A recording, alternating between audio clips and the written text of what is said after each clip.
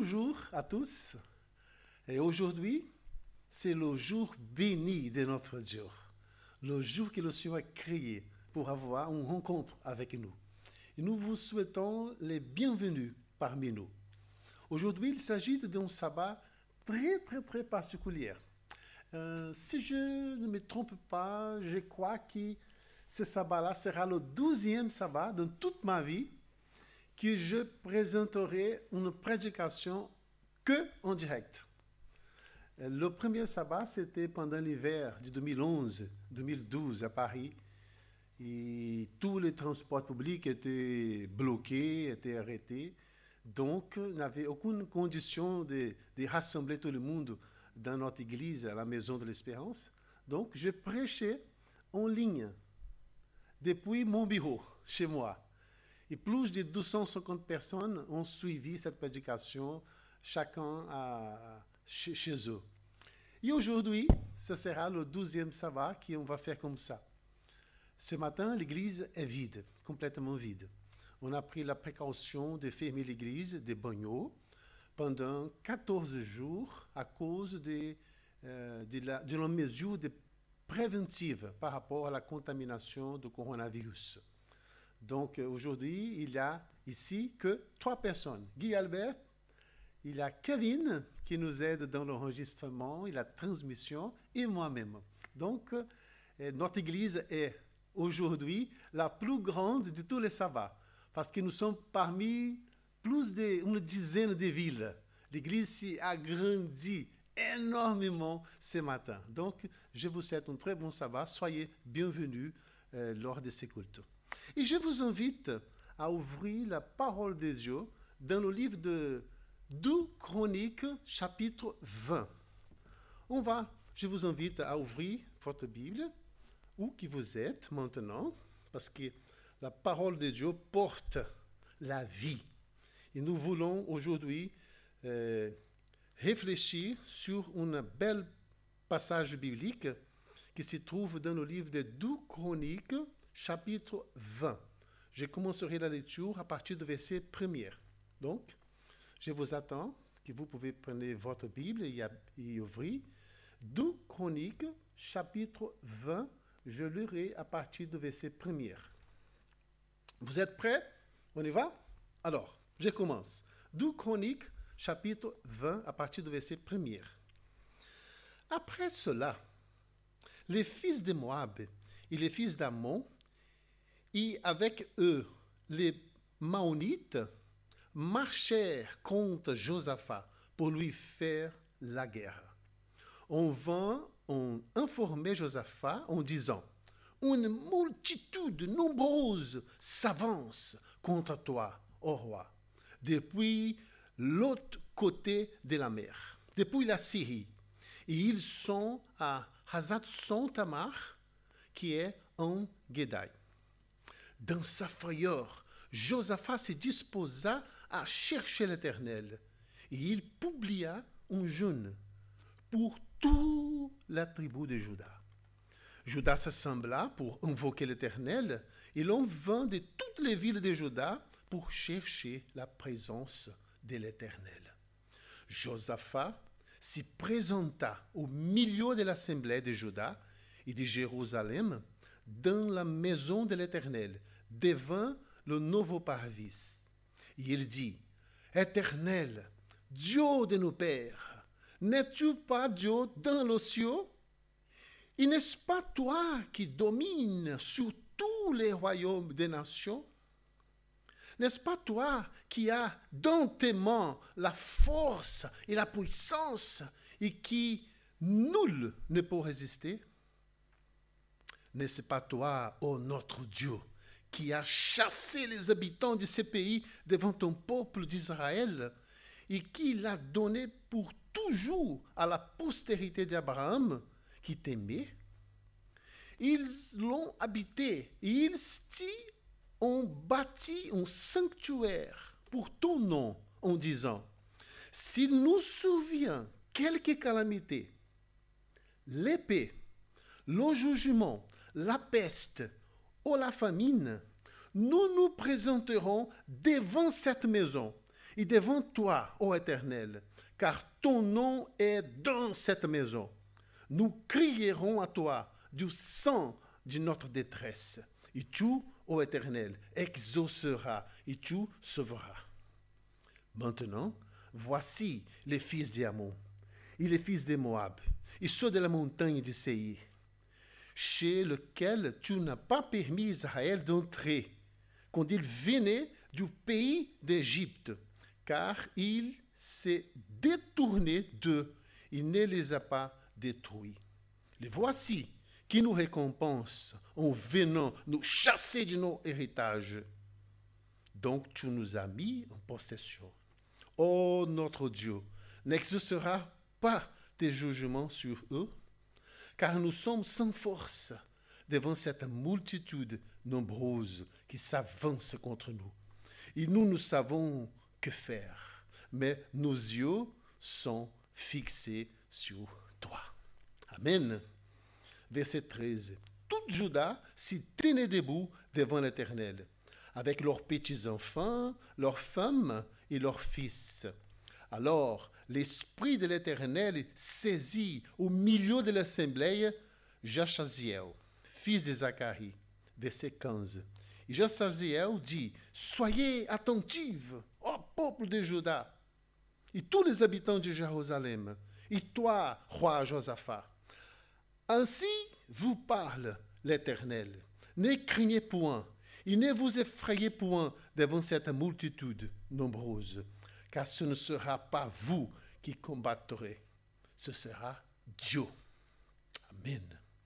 Demain, descendez contre eux. Ils vont montrer, ils vont monter par la colline de Tzitz. Et vous les trouverez à l'extrémité de la vallée, en face du désert de Jéruel. Vous n'aurez point à combattre en cette affaire. Hein. Présentez-vous, tenez-vous là, et vous verrez la délivrance que l'Éternel vous accordera. Gloire à Dieu. Judas et Jérusalem, ne craignez point, et ne vous effrayez point. Demain, sortez à leur rencontre, et l'Éternel sera avec vous. Josaphat s'inclina le visage contre la terre. Et tout Judas et les habitants de Jérusalem tombèrent devant l'Éternel pour s'y prosterner en sa présence. Les Lévites, d'entre les fils des Kératites et d'entre les fils des Coréites, s'y levèrent pour célébrer d'une voix forte et haute l'Éternel, le Dieu d'Israël. Le lendemain, ils s'y mirent en marche le grand matin pour le désert de quoi Alors au départ, Josaphat se présenta et dit, écoutez-moi, Judaï, habitants de Jérusalem, confiez-vous en l'Éternel, notre Dieu, et vous serez affermis. Confiez-vous en ses prophètes, et vous réussirez. Amen. Puis, verset 21, d'accord avec le peuple, il nomma des chantres qui, revêtus d'ornements sacrés, et marchant devant l'armée, célébraient l'Éternel. Il, disait, louez l'Éternel, car sa miséricorde dure à toujours. Amen. Au moment où l'on commença les chants et les louanges, l'Éternel plaça une embuscade contre les fils d'Amon et de Moab. Ils sautent de la montagne de Seir, qui était venus contre Juda. Et ils furent abattus. Les fils d'Amon et les fils de Moab se jetèrent sur les habitants de la montagne de Séi pour les dévouer par interdit. Ils les exterminaient complètement.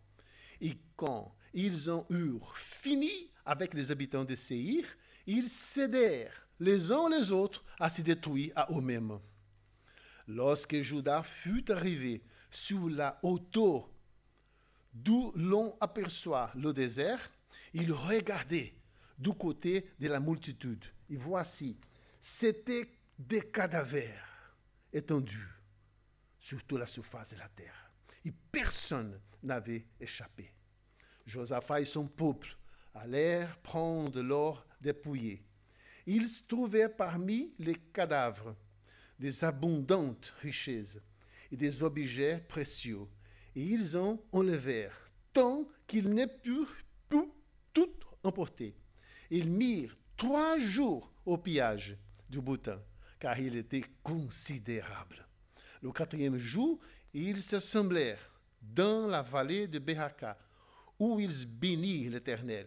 C'est pourquoi ils appelèrent ces lieux vallée de Behaka, nom qui lui est resté jusqu'à ce jour.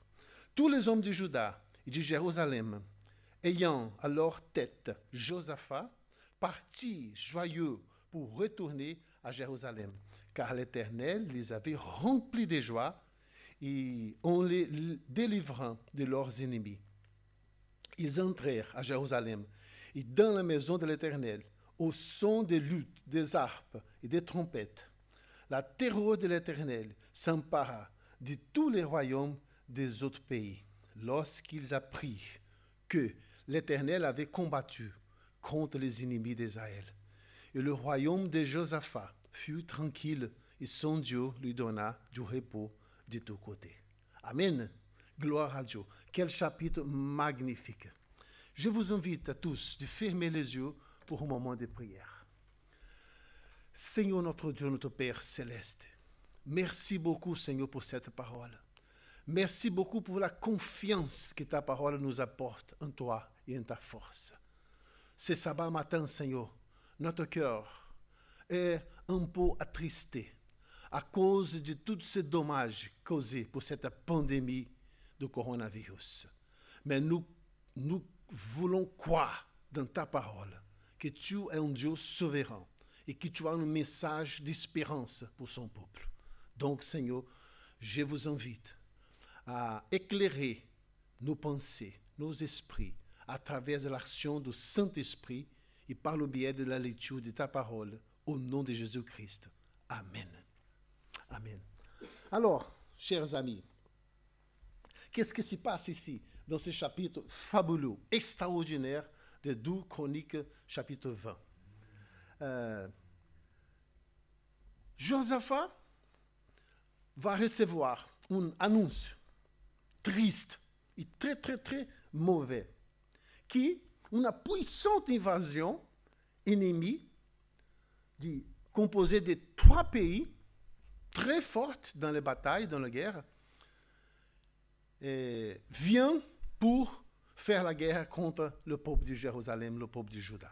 Donc, Josaphat était un véritable homme de Dieu, un homme de prière, un homme qui faisait dépendre toute son administration royale dans les orientations, dans les enseignements de Dieu l'Éternel.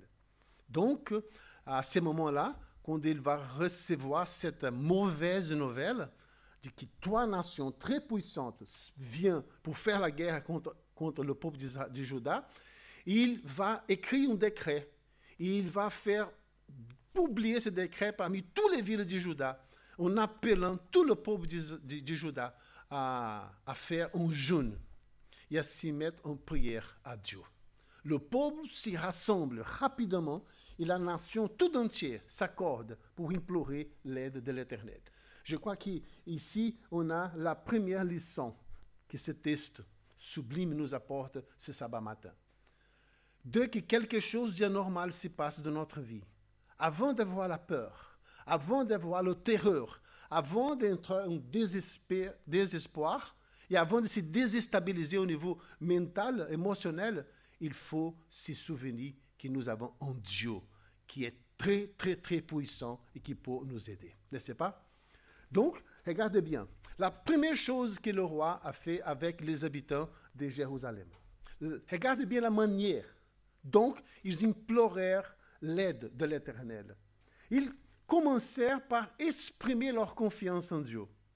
Et Josaphat, le roi, à tête de tout le peuple, il commence cette prière en disant, N'es-tu pas Dieu dans le ciel? Et après, il va dire, N'est-ce pas toi qui as dans tes mains la force et toute la puissance? Dans le verset 6 du chapitre 20. Dans sa prière, devant l'Éternel. Le roi évoque les hauts faits du passé.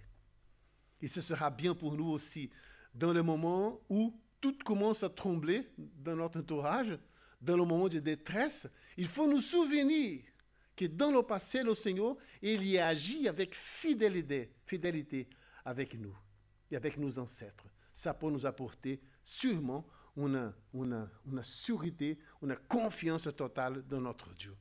Donc, ils firent état de la promesse que Dieu a faite lors de la dédicace du temple.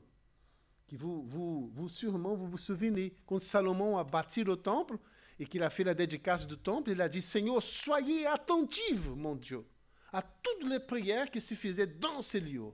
Et quand ton peuple sera dans la détresse, dans la détresse, dans la guerre, dans l'épidémie, dans la, la situation euh, pas convenable, et quand ils prier à toi depuis ces lieux, que tu puisses les entendre et exaucer cette prière. Le verset 9. Ils confessèrent l'état dans lequel ils s'y trouvaient. En toute humilité, ils reconnurent le danger de leur situation et aussi de leur incapacité complète et totale contre cette armée triplée. triplée. Regardez bien comment ils vont décrire leur situation. Nous sommes, Seigneur, sans force. Sans force. Parce que nous sommes petits et ils sont très, très, très nombreux.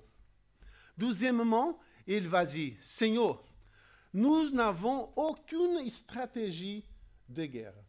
Hier, j'ai lu un reportage que le gouvernement français a dit, euh, c'est vrai que nous sommes en de faire face à cette guerre avec ce virus, euh, mais une chose c'est certaine, il y a beaucoup, beaucoup d'incertitudes scientifiques par rapport à ce virus, que nous sommes en train de, de chercher de comprendre. Donc, mes amis, la nation tout entière, le monde tout entier est en train de faire une guerre contre un ennemi qui est invisible et qui personne ne le connaît exactement. Pourquoi Parce qu'il change à chaque fois. Il change tout le temps. Il passe pour métamorphose tout le temps. Donc, nous sommes sans force, nous n'avons aucune stratégie. Troisièmement, ils vont dire, et nous n'avons aucun allié pour nous aider. C'est vrai, Seigneur, qu'ils ils sont unis en trois nations contre nous, mais nous, nous sommes toutes seuls. Tout ce que nous avons, c'est des femmes et les enfants, qui, loin de nous apporter de la force, pour nous apporter des problèmes, des difficultés. Imaginez-vous comment gérer les, femmes qui sont enceintes, les gens qui sont euh, vieilles et les, petits-enfants lors d'une guerre. Ça peut poser énormément de problèmes, n'est-ce pas? Alors, ils, ils ont regardé un peu haut. Ils élevèrent leur âme à Dieu. Et ils ont dit comme ça, nos yeux sont sur toi, ô Dieu l'Éternel. Nous ne regardons pas nos problèmes. Nous ne regardons pas le bilan de la France ce samedi matin. Nous ne regardons pas les chiffres de combien de, de, mille personnes sont contaminées, combien de gens sont déjà morts. Non, nous ne regardons pas ça, Seigneur. Nos yeux s'élèvent vers toi et c'est toi que nous regardons. C'est de toi qui va venir notre espérance et notre délivrance. Après, le verset 17, ils vont dire, l'Éternel sera avec nous. Quoi qu'il s'arrive, nous confions que l'Éternel sera avec nous. Verset 17. Ne craignez point et ne vous effrayez point. Confiez-vous en l'Éternel, votre Dieu, et vous serez affermis. Ça a été la parole que le Seigneur nous a donnée à travers de son prophète. Après faire cette confiance en Dieu, mes amis, après déposer leur cœur tout entier sur la main de l'Éternel, les choses commencent à changer. Regardez bien, à partir du verset 16. Demain, descendez contre eux, et vous le trouverez à l'extrémité de la vallée. Verset 16. La délivrance est réelle. Les Moabites et les Ammonites exterminèrent les Édomites. Ils ont commencé à faire une guerre entre eux. La Bible ne dit pas pourquoi, mais ça ne nous intéresse rien. Ce qui nous intéresse est que la, triplée de conjonction contre Judas commence à faire la guerre, les uns contre les autres, entre eux. Et les Moabites et les Ammonites exterminèrent les Édomites. Et Israël triompha sans avoir même à livrer bataille. Quelle joie profonde, n'est-ce pas? Ce sera pour nous que de voir la droite de l'Éternel nous assurer la victoire. Amen. Que Dieu soit loué. Regardez bien la manière dont ils agirent. Dans un premier moment, ils ont pris la décision d'adorer l'Éternel. Le verset 18, regardez bien. Le roi et le peuple s'inclinèrent et se prosternèrent devant l'Éternel. Ça, c'est une position d'adoration. S'incliner vers l'Éternel, se prosterner vers l'Éternel. Pour faire dépendre leur situation seulement dans la main de l'Éternel. Après adorer l'Éternel, ils ont commencé une louange, une session de louanges. Regardez bien. Ils louèrent l'Éternel avant même de recevoir la grâce demandée. Le verset 21 nous dit, il nomma des chantres qui célébraient l'Éternel. Avant même de partir à la guerre, avant même d'obtenir la victoire, ils commencent à chanter pour dire au Seigneur, notre confiance est placée sur toi, Seigneur. Et nous sommes sûrs que tu vas nous donner la victoire, finalement. Gloire à Dieu. Quelle confiance, mes amis. Quelle foi. Après amener la louange, ils se mettent en marche. Parce que finalement, le problème est là. Il faut confronter le problème. Il faut marcher. Comme le pauvre a dit à Moïse. Dis au pauvre qui marche. Donc, il faut, avec la présence de Dieu, avec la confiance placée en Dieu, après l'adoration, après la louange, il faut nous mettre debout et marcher euh, euh, dans la direction de notre, de notre guerre, du problème. Donc, ils s'avancèrent, précédés des chantres, jusqu'à ce que Judas fût arrivé sur la hauteur d'où l'on aperçoit le désert. Ils étaient dans un lieu haut. Et de ce lieu haut, peut-être le sommet d'une petite montagne, ils ont vu toute la vallée où devrait euh, aura lieu la guerre. Mais quand on regarde là-bas, où était placée la multitude de ses ennemis, ils ont eu la constatation de la réalisation, de l'effectuation de la promesse de l'Éternel.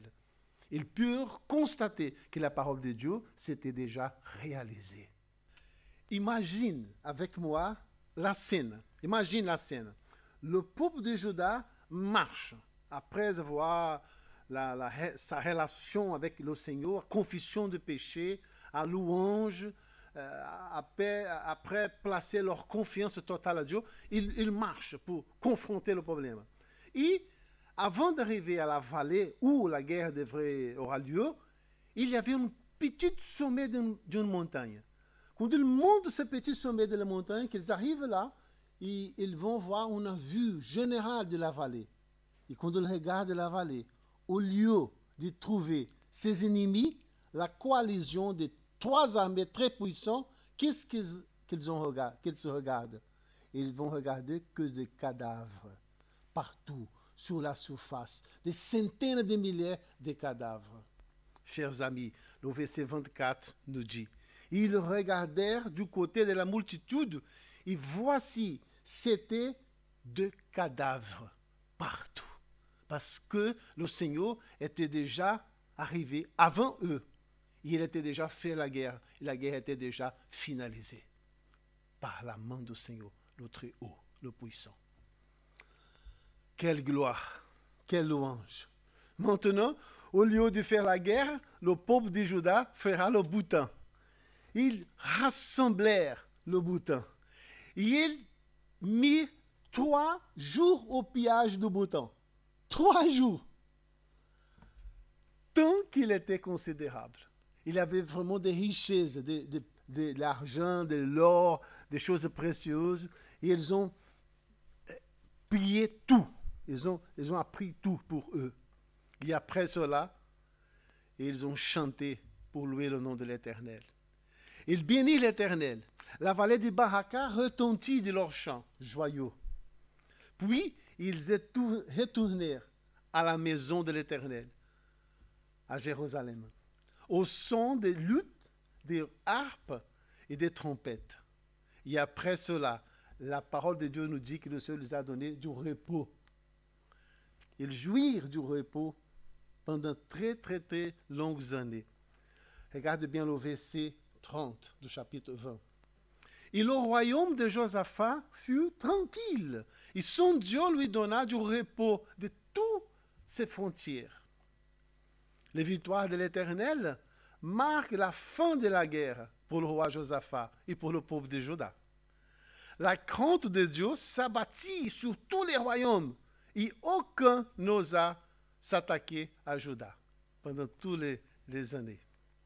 Alors, chers amis, si nous sommes dans la difficulté, si nous passons pour les moments difficiles de notre vie, nous devons recourir immédiatement à l'Éternel. Nous ne devons pas fixer nos yeux sur le bilan du coronavirus en France pour voir que le nombre de contaminés a déjà dépassé 2 000, 3 000, que le nombre de morts sont déjà dépassés. Non, chers amis, nous devons élever un peu les yeux pour regarder le Seigneur des armées, le Très-Haut, l'Éternel, notre Dieu puissant. C'est là que nous devons fixer notre attention. Ne sera-t-il pas opportun de nous assembler aujourd'hui dans la prière pour lutter contre les Moabites, les Ammonites et les Édomites modernes? Parce que nous sommes toujours dans la guerre, n'est-ce pas? Toujours dans la guerre. Nous sommes dans un, un grand conflit n'est-ce pas?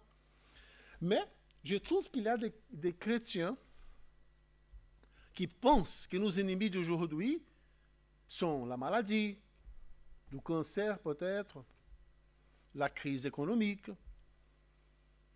Aujourd'hui, ce matin, j'ai vu un reportage qui disait que le Royaume-Uni, euh, la Italie et 12 autres pays ils ont débloqué une somme de plus de 60 milliards de dollars pour faire face à, cette guerre contre le coronavirus. Plus de 60 milliards de dollars. Imaginez. Donc, ça veut dire que dans les prochaines semaines, le monde tout entier va plonger dans une grande crise économique. Il y a des gens qui pensent que c'est le divorce, notre plus grand ennemi. Ou peut-être la pandémie de coronavirus. Mais je vous affirme, chers frères et sœurs, chers amis qui nous regardent, notre plus grand ennemi, le plus grand ennemi de l'Église de Dieu aujourd'hui n'est pas ces, choses-là. Je crois que c'est la infidélité, c'est la désobéissance au commandement de la loi de l'Éternel notre plus grand ennemi, peut-être, c'est la doute de que notre Dieu, est véritable de qu'il est fidèle vers nous. Peut-être le plus grand ennemi, c'est la peur. La peur.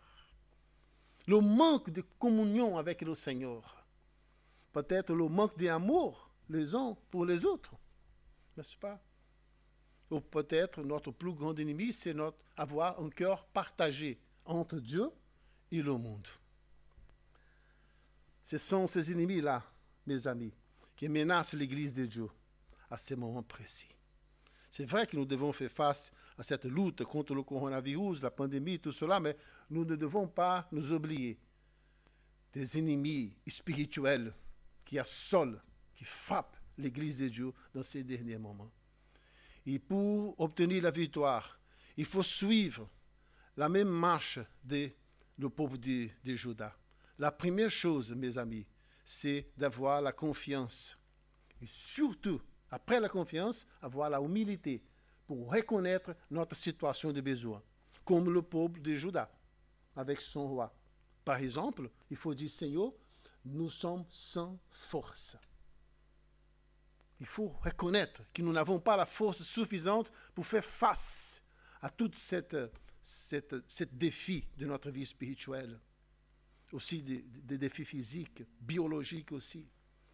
La deuxième chose, c'est de dire à Dieu, Seigneur, nous n'avons pas une stratégie pour faire cette guerre. Nous n'avons aucune stratégie. Comme le verset 12. Nous, nous savons quoi faire, Seigneur. Et troisièmement, il faut le dire, Seigneur, nous sommes sans alliés.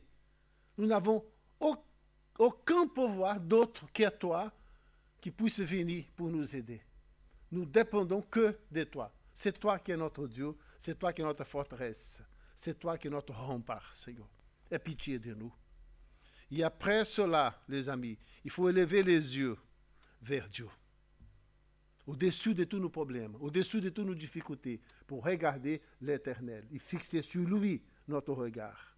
Et le Seigneur, conforme le verset 17, il, il viendra à notre aide. Il sera avec nous dans cette bataille pour faire la guerre à notre place. Comme le verset 20 nous dit, ne craignez point et ne vous effrayez point. Confiez-vous en l'Éternel, votre Dieu, et vous serez affermis. Amen. Dieu soit loué. Après tout ça, je crois que les choses vont changer. Et le Seigneur sera avec nous pour, pour faire la guerre à notre place et pour nous donner la victoire. Comme le psaume 91 nous dit, mille pourront tomber d'un côté de vous. Dix mille tomberont de l'autre côté, mais tu ne seras jamais touché. Parce que la force de l'Éternel, la divine protection de l'armée de l'Éternel seront à notre disposition pour nous donner la protection. Donc, chers amis, ce sabbat matin, je vous invite à regarder un petit peu plus le haut, à fixer le regard sur notre Dieu, le Dieu des armées. Parce que la Bible nous dit qu'il est toujours le même Dieu. Comme il était hier, il sera aujourd'hui, il sera à jamais. Parce que notre Dieu, il ne change jamais. Il est le même Dieu, il a tout le pouvoir pour venir à notre secours. Je confie ma vie à l'Éternel. Je confie la vie de mon Église à l'Éternel. Je, je, vous invite, chers amis internautes, chers membres d'Église, chers sœurs et frères de notre Église, je vous invite ce sabbat matin à placer votre cœur, votre foi sur la bénédiction de l'Éternel, à faire confiance à l'Éternel et à demander tous les jours, depuis le matin, que l'Éternel puisse vous délivrer et à être fidèle à l'Éternel à travers la communion à chaque matin avec la famille, à travers le ministère de la prière d'intercession, à travers de l'étude de la Bible, de la leçon d'école du sabbat, et en demandant l'Esprit de Dieu sur chacun parmi vous pour que c'est l'Esprit de Dieu qui nous donne la force pour être obéissant à Dieu et pour marcher dans la voie que le Seigneur a tracée pour chacun de nous. Que le Seigneur nous bénisse, qu'il bénisse à moi-même et qu'il bénisse à chacun qui, qui, nous regarde ce matin par le biais de l'Internet. Que le Seigneur soit votre force, que le Seigneur puisse venir pour faire la guerre à votre place, pour vous apporter la victoire dans toutes les luttes, dans toutes les difficultés. Passez-vous pour des problèmes, pour les difficultés dans leur couple, le Seigneur est là, il peut vous aider. Peut-être le problème s'agit au niveau des adolescents, des, des, des, jeunes, des enfants. Le Seigneur est là pour nous donner la sagesse, pour gérer la, la question. Peut-être le problème, c'est de ordre financier, économique. Peut-être vous n'avez pas encore trouvé un bon travail. Le Seigneur est là pour nous aider. N'importe quel sera notre problème. C'est la pandémie du coronavirus, le Seigneur est là. Et nous devons placer au Seigneur notre confiance, parce qu'il n'est jamais à manquer, il jamais manquera. C'est lui qui nous a promis, je serai avec vous tous les jours jusqu'à la fin. Et j'ai mis ma confiance en l'Éternel. C'est lui qui gère ma vie, la vie de ma famille. Je vous invite aussi à mettre toute votre confiance à l'Éternel, le Seigneur des armées. Que Dieu nous garde, que Dieu nous donne la divine protection. Et à ce moment-là, je vous invite à vous mettre debout dans la mesure de leurs possibilités si vous le voulez, ou peut-être vous, pouvez vous mettre à genoux, si vous le voulez bien, pour une prière euh, finale. Prions ensemble. Seigneur notre Dieu, l'Éternel, très puissant, nous te remercions, Seigneur, infiniment pour le registre de ce chapitre 20 de 12 Chroniques. Quelle histoire magnifique, Seigneur. Quelle histoire extraordinaire. Et cette histoire elle a été enregistrée sur la parole de Dieu, sur ta parole, pour nous apporter la confiance, pour renforcer notre foi, pour que nous puissions nous souvenir, Seigneur, toujours que tu es un Dieu fidèle et que tu ne laisseras jamais ton peuple prier à toi dans les moments de détresse sans écouter ses prières. Si nous prions avec le cœur humble, si nous confessons nos péchés, et si nous abandonnons notre mauvaise conduite, l'Océan a donné déjà la promesse. Je ouvrirai mes oreilles pour écouter tes prières et je exaucerai selon ma volonté. Donc, Seigneur, nous t'invitons à faire notre guerre à notre place. Nous t'invitons à faire de vrais miracles chez nous. Bénis, Seigneur, nos foyers. Bénis notre travail. Bénis nos enfants. Bénis notre couple. Bénis notre vie financière. Bénis, Seigneur, notre santé. Que tu puisses guérir toutes nos maladies. Que tu puisses nous donner la pluie de la dernière saison. Le pouvoir du Saint-Esprit. Pour que nous puissions obtenir la victoire de tous les côtés de notre vie. Faites la guerre, Seigneur, à notre place et nous remporte la victoire. Au nom de Jésus-Christ. Amen. Chers amis, chers membres d'église aussi, notre église sera fermée le samedi prochain, le 21, mais nous invitons à venir nombreux sur notre site web pour que vous pouvez euh, participer avec nous dans la prédication qui sera euh, transmise le samedi euh, 21 à 11h du matin. Et on va présenter un message d'espérance pour chacun d'entre vous et on va donner quelques renseignements, quelques informations sur la fermeture de l'église. Si l'église va continuer fermée ou si elle va être ouverte. Donc, nous vous invitons à rester dans la prière. L'église de, l'église de Bagno, à travers du cours pastoral, a établi trois moments de prière d'intercession. Et nous vous invitons à, nous, à, vous joindre à nous. À 6 heures du matin, à midi et à 18 heures.